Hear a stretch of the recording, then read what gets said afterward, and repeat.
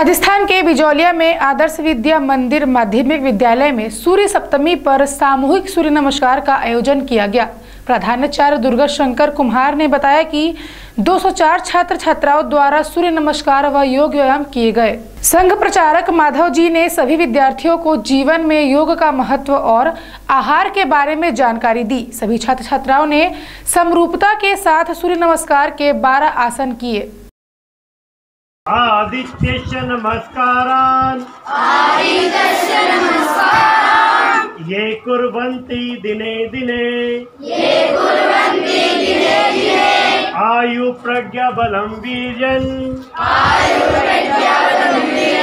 तेजस्तेषां च जायते।